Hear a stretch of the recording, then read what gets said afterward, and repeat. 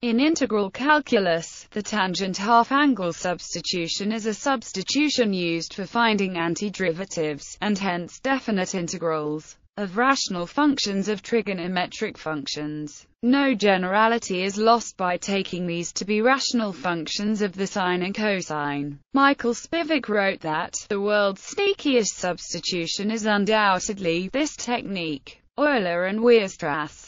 Various books call this the Weierstrass substitution, after Karl Weierstrass without citing any occurrence of the substitution in Weierstrass writings, but the technique appears well before Weierstrass was born. In the work of Leonhard Euler, the substitution. One starts with the problem of finding an antiderivative of a rational function of the sine and cosine, and replaces sin x, cos x, and the differential dx with rational functions of a variable t and the product of a rational function of t with the differential dt, as follows. Derivation let by the double angle formula for the sine function, by the double angle formula for the cosine function. The differential dx can be calculated as follows. Examples First example, second example. A definite integral in the first line, one does not simply substitute for both limits of integration. The singularity of it must be taken into account.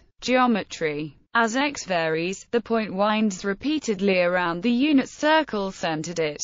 The point goes only once around the circle as t goes from minus infinity to plus infinity, and never reaches the point, which is approached as a limit as t approaches plus or minus infinity. As t goes from minus infinity to minus 1, the point determined by t goes through the part of the circle in the third quadrant, from 2. As t goes from minus 1 to 0, the point follows the part of the circle in the fourth quadrant from 2. As t goes from 0 to 1, the point follows the part of the circle in the first quadrant from 2. Finally, as t goes from 1 to plus infinity, the point follows the part of the circle in the second quadrant from 2. Here is another geometric point of view. Draw the unit circle, and let P be the point. A line through P is determined by its slope. Furthermore, each of the lines intersects the unit circle in exactly two points, one of which is P. This determines a function from points on the unit circle to slopes. The trigonometric functions determine a function from angles to points on the unit circle, and by combining these two functions we have a function from angles to slopes.